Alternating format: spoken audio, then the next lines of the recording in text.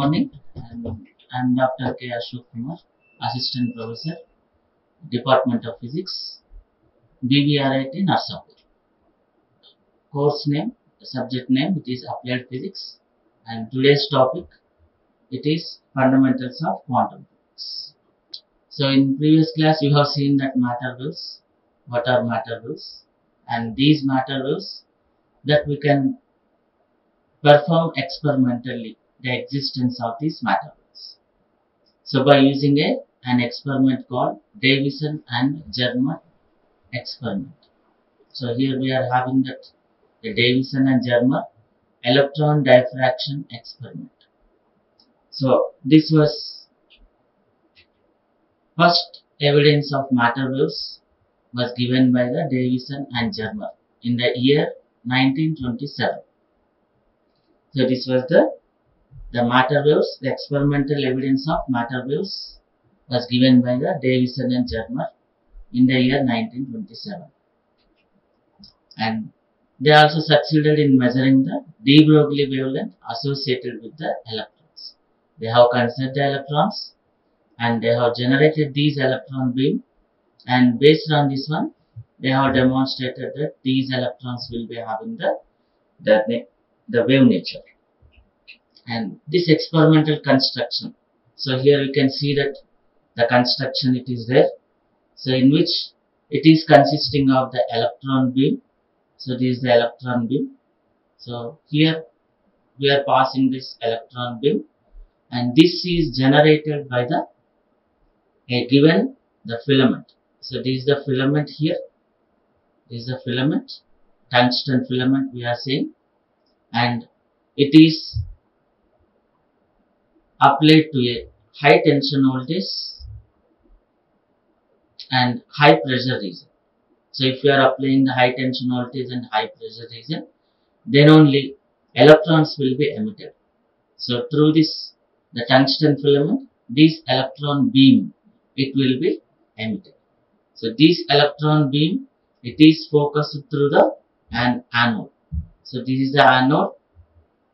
So this anode is giving the that is focusing for this electron beam. So this electron beam, it will be passing through a nickel target. So this is the material that we are using here. So nickel crystal that we are using and this nickel crystal, so it can be rotated. It can be rotated on its axis. So there is an arrangement will be there and this arrangement will be making this nickel crystal at different angles. So based on this, the position of this nickel crystal, so the electron beam that is incident onto this nickel crystal, so it will be diffract. So this is the diffraction angle. So this theta value that we can calculate. So that is, we can calculate this diffraction angle by using a, a circular scale. So here you can see that the circular scale it is there. So this is a circular scale and it is in terms of the degrees so this circular scale so this circular scale it will be measuring the diffraction angle of this electron beam.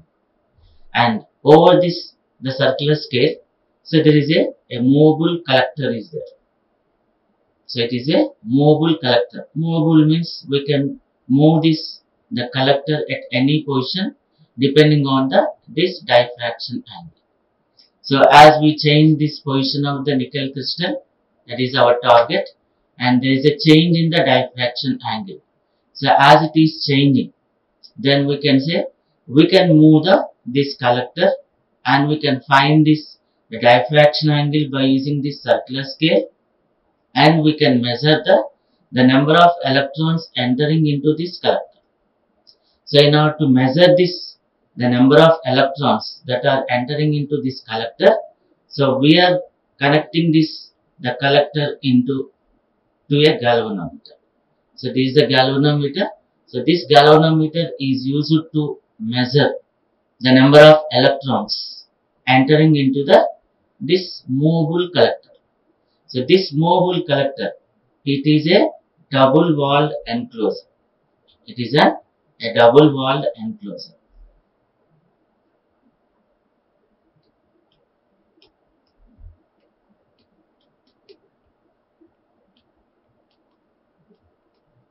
So this is a double wall enclosure so that only the fast moving electrons which are coming from the this tungsten filament and it is diffracted at the nickel crystal that is the target and it will be moving towards this collector.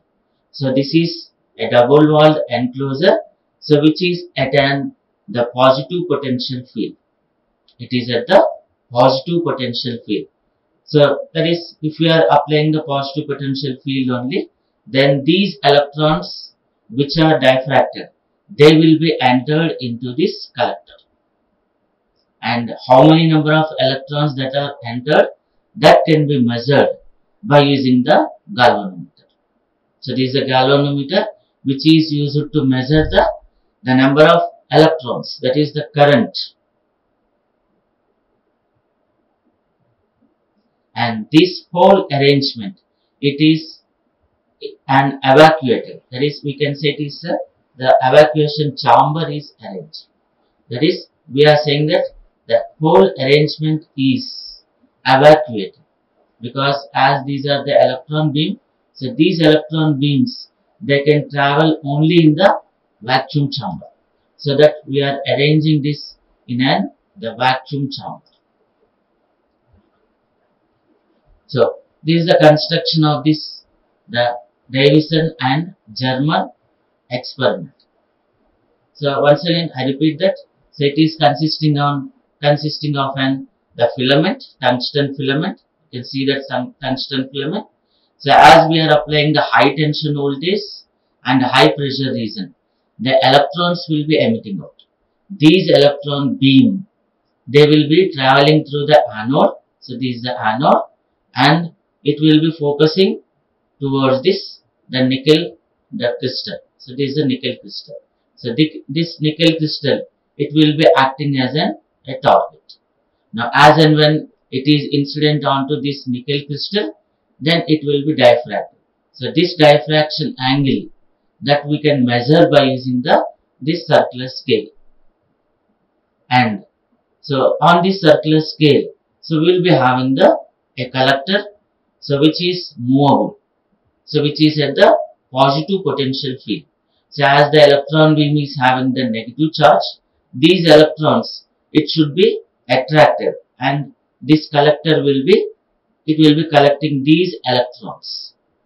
And that can be measured. The number of electrons can be measured. Or the current we can say. So it can be measured by the by using this galvanometer which is connected towards the this movable collector.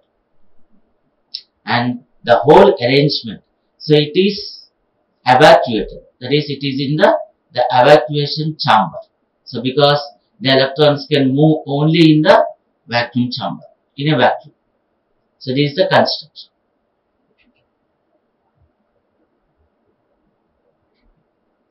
Now so here we are saying that the observations are repeated for different the accelerating potential and at different accelerating potential field. It is observed that a bump being to be appear in the curve. So for 44 volts so with increase in the potential field the bump moving towards the upward direction. So the bump becomes most prominent in the curve for 54 volts that is if we are applying the voltage around 54 volts then the diffraction angle so it will be getting the 50 degrees. So theta here it is nothing but the, the diffraction angle. And here you can observe that the how the bumps will be there. So you can see from this that is graphical notation so when the voltage the potential field it is 54 volts. So we are getting a bump like structure. And as we are increasing so here we are increasing to 49 volts and if we are further increased towards 54 and again it is further increased towards the 88 volts. Then if you observe this sequence, so as and when it is increased, the potential field it is increased. The bump, so here you can see that the bump are raised in the this the potential field, the amplitude so it is increasing. So it will be maximum for an voltage, the potential field which is equivalent to 54 volts. So the same thing that we are writing here, that is bump becomes most prominent in the curve for the 54 volts and the diffraction angle, so which is equivalent to 50 degrees. Now, for these values of this potential field and we are calculating the, the wavelength. So, we know that, so based on the de Broglie equation, so we are having an equation that is 12.26 by root V. So, this 12.26 by root V, so in this we are substituting the, so V equivalent to 54 volts. Now, we are substituting this value here so V equivalent to 54 volts and we are simplifying that value that is 12.26 by under root 54.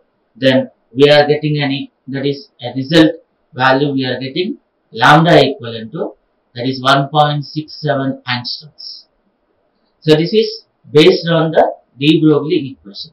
So based on this de Broglie equation, so we have got that is the wavelength of this the electrons. Here we are considering the the electrons. So as these electrons are generated and they are moving from the cathode, the filament and we are getting this wavelength which is equivalent to lambda equivalent to 1.67 angstroms. Now similarly, so we are analyzing these, the that is the X-ray analysis. So it is observed that nickel crystal acts as a that is plane diffraction grating.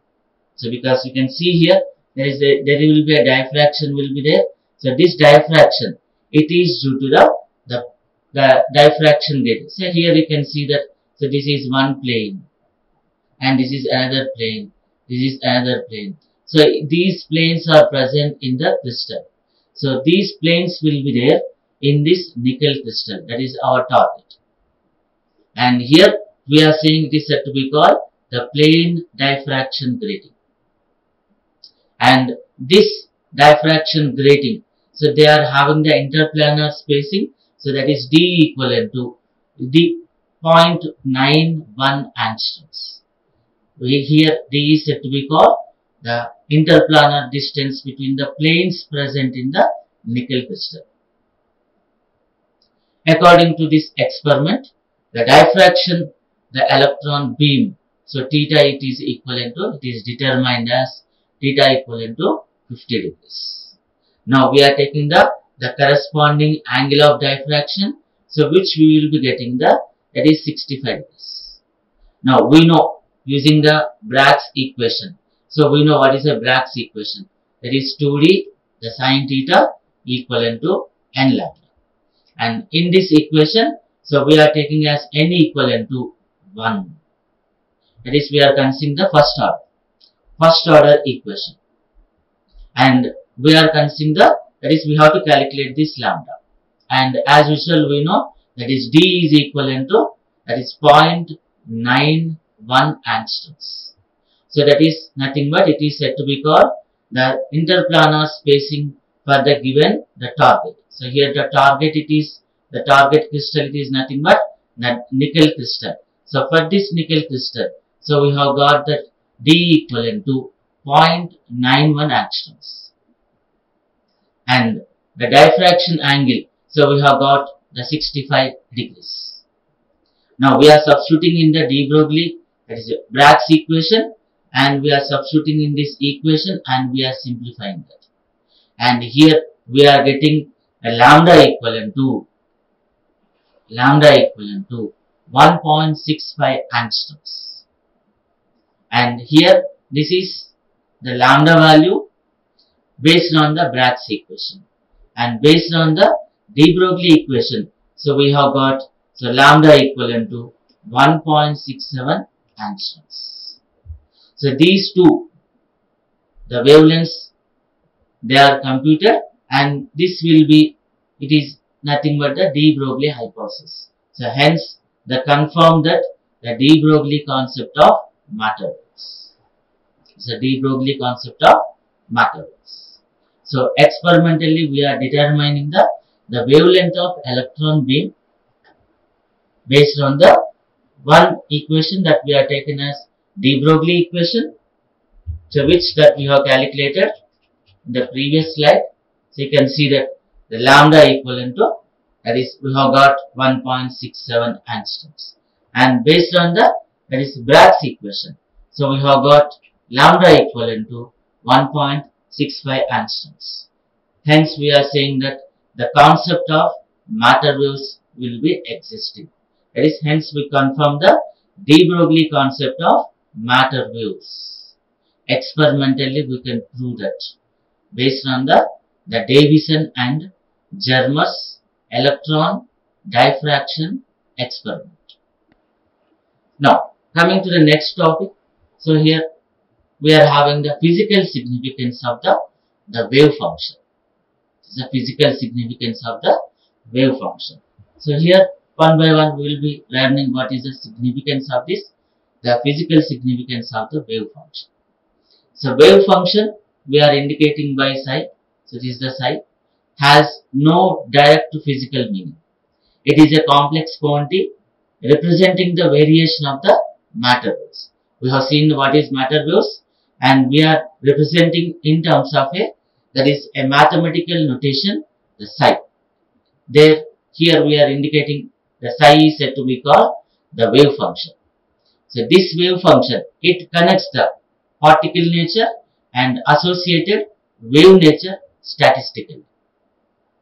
So this wave function, so it will be giving the no direct physical meaning. So it is a complex quantity representing the variation of the this matter wave. So sometimes we know it will be acting as a particle nature, it will be acting as a wave nature. This both will be the confirmed by this wave function. And so probability. So probability density function. So we are taking as probability density function. So what is meant by probability density function?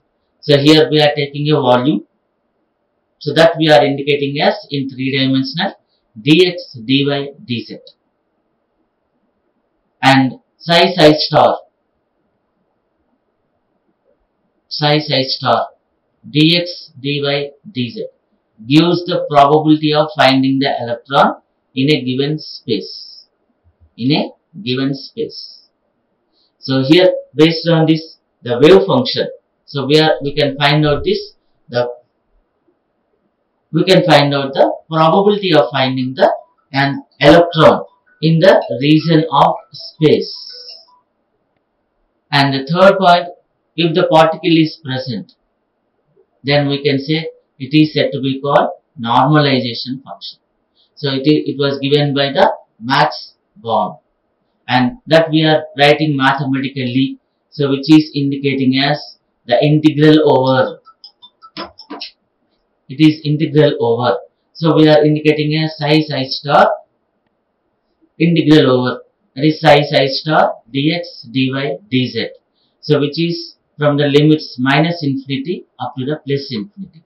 So that we are indicating equal to the 1 so here I repeat once again if the particle is present that is we are taking mathematically that is integral over minus infinity to plus infinity psi psi star dx dy dz equivalent to 1.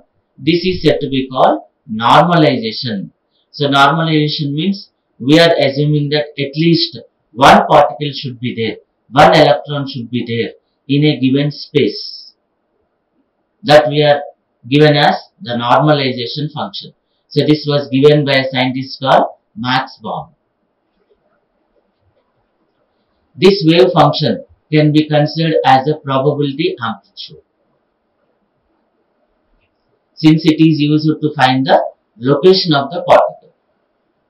Since it is used to find the location of the particle. So these are the physical significance of the, the wave function. So here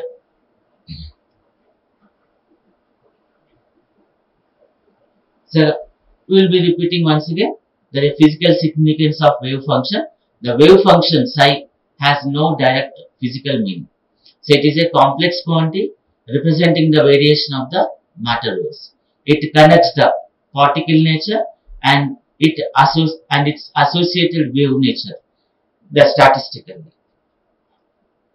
Then psi psi star or mod psi square, it is a probability density function. Psi psi star dx with dy dz gives the probability of finding the electron in the region of space. And here we are taking if the particle is present, then integral over minus infinity to plus infinity psi psi star dx dy dz which is equivalent to 1. So that we are indicating as it is said to be called normalization. That is at least one electron should be there in a given space. This was given by the Max Born. The wave function can be considered as a probability amplitude since it is used to find the location of the particle. So this is the physical significance of the wave function based on this physical significance. So we are coming across the next topic. It is a Schrodinger time independent wave equation. This Schrodinger time independent wave equation. So according to the de Broglie theory, we know what is a de Broglie theory. So we are considering a particle of mass m is always associated with a wave. Those wavelength that we are indicating lambda equivalent to h by mv. So we know h is nothing but Planck's constant. m is said to be called mass of the particle and v is said to be called velocity of this particle. So this is based on the de Broglie theory or de Broglie concept or de Broglie the wavelength that we are indicating lambda equivalent to h by m. Now we can consider a system of the stationary waves associated with a particle. Let us consider x, y, z. These are the coordinates of the particle and psi the displacement for the de Broglie at any time. Psi is said to be called the wave function. Already we have seen that the psi is said to be called the wave function. So here we are considering the that is and the xyz coordinates for the particle and psi is said to be called the displacement for the de Broglie at any time and the psi is said to be called the wave function.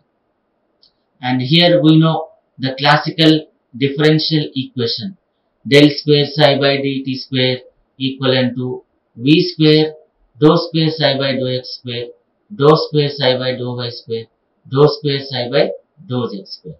So instead of writing all this, we can write as v square into del square psi. So where del square it is said to be called dou square by dou x square dou square dou y square dou square dou z square. Now we are considering the wave function. we are considering a wave function that is psi of x a equivalent to sine 2 pi by lambda x. We are considering the a wave function psi of x equivalent to a sine 2 pi by lambda x. So here a is said to be called the amplitude and psi is indicating sine it is indicating that is the wave is moving along the that is x axis in the form of a sine function. This is in the moving in the along the x direction x axis and it is in the form of a sine function. And lambda we know the lambda. So this lambda is indicating the the wavelength de Broglie wavelength. If you are considering any particle, so if you are considering an electron and this electron it will be consisting of the de Broglie wave equation. That wave equation it is in the form of a matter waves and each matter wave so it will be consisting of wavelength that we are indicating as lambda equivalent to the h by mv. It is based on the de Broglie wave equation. I repeat here. So here we are considering that wave function the psi of x equivalent to a sine 2 pi by lambda x which we are indicating a wave function that is if we are considering a particle it will be consisting of the, it will be consisting of and wave function will be there and this wave function, so which we are indicating mathematically. That is A sine 2 pi by lambda x, where A is said to be called amplitude and psi is, sine is indicating that the wave is moving in the form of sine function and lambda is said to be called the de Broglie wave equation and x is indicating that the wave it is moving along the x-axis. Now we are taking the differentiation with respect to the x. So that is we know the differential equation. We are differentiating here dou psi by dou x which is equivalent to so sine if we are differentiating with respect to that is x then we can say it is the differentiation of sine it is said to be called cos and again here we are having the 2 pi by lambda we are having and we are taking as 2 pi by lambda and so here based on the mathematical trigonometric equation we know that if we are differentiating with respect to x then we are getting the dou psi by dou x equivalent to 2 pi by lambda a cos 2 pi by lambda x. And again we are differentiating. d square psi by dx square. So differentiation of the cos function. So we know it is a sine function. As we are having here in place of x along this x we are having the 2 pi by lambda. So it is equivalent to the minus 2 pi by lambda. Already we are having the 2 pi by lambda. So a sine 2 pi by lambda x. And the differentiation of this cos function so we will be getting the the minus sign. So this is the minus sign so from these two equations so we are substituting in the the general equation and we are substitute we are simplifying and before substituting here we are taking as the total energy we are indicating as the capital E the total energy is we are indicating as capital E. We know it is a combination of the it is a combination of the potential energy and kinetic energy. So here we are indicating as the total the kinetic energy. So we know it is total energy E equivalent to the kinetic energy plus the potential energy. Here we are taking the kinetic energy is equivalent to half mv square and potential energy we are taking as v. So here we are cross multiplying we are taking this value here that is the v value towards the left hand side and we are simply writing half mv square which is equivalent to e minus v. Now so we are rearranging here we are again cross multiplying that is we are taking this 2 value towards this right hand side and we are getting mv square equivalent to 2 into e minus v or we can say multiplying both sides the m value. So we are right we can write as m square v square equivalent to 2m into capital E into v. We know that capital E is nothing but the total energy and v is said to be called the potential energy. So here we are simply writing as v square m square v square equivalent to 2m into the total energy E and potential energy. Now we know from the de Broglie equation. So we are having lambda equivalent to lambda equivalent to h by m. So we are squaring on both sides lambda square equivalent to h square by m square v square. So instead of this m square v square we are substituting this value. We are substituting in the this equation. So lambda square we can write as h square by 2m into capital E into the v. So here rem reminding you again that is this capital is nothing but total energy and v is said to be called the potential energy for the particle.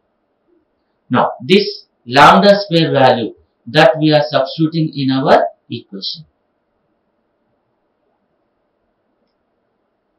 So in this equation we are substituting this value. So we are substituting in place of lambda square that we are substituting here h square. So this value will be coming towards the numerator 2m into capital E capital V. So we are simplifying here and we are writing as 8m 8 pi square m by h square e minus v into psi. And so here there is a negative, the minus sign it is there. So this minus sign, so we are taking towards the right hand side and it will become the plus. It will be becoming the, the plus. So at last the resultant equation that we can write as del square psi by del dou square psi by dou x square plus 8m square say 8 pi square m by h square into e minus v psi equivalent to 0. So this equation it is said to be called the Schrodinger time independent wave equation. So here we are considering the a particle and this particle based on the de Broglie equation. So we have taken as lambda equivalent to h by mv.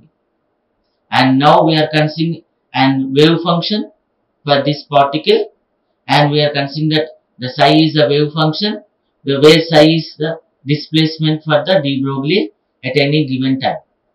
And this psi is said to be called the wave function we are indicating. And we are taking the wave function and we are saying that particle is moving in the form of a wave and the psi it is equivalent to psi of x equivalent to we are indicating as a sine 2 pi by lambda x. So we are differentiating here first order and this is second order. And now we know based on the, the total energy equation. So we are taking as the capital E equivalent to total energy equivalent to kinetic energy plus the potential energy. So that is we are indicating as half mv square then potential energy V we are writing. From this equation we are cross multiplying and we are rearranging here half mv square kinetic energy equivalent to capital E into V. And again further simplifying so we are indicating as m square v square equivalent to 2m into capital E into V. So based on this de Broglie equation, we are substituting in terms of that is mv and we are indicating as lambda square equivalent to that is h square by 2m into e minus v. So we are substituting in the equation, we are substituting in the equation and we are simplifying and at last we will be getting the, the Schrodinger time independent wave equation dou square psi by dou x square plus 8 pi square m by h square e minus v psi equivalent to 0. So this is said to be called the Schrodinger time independent wave equation. So this is the topic for this day and thank you for this day. We will be continuing with the another topic in the next class. Like, share and subscribe. Hit the bell icon for more updates.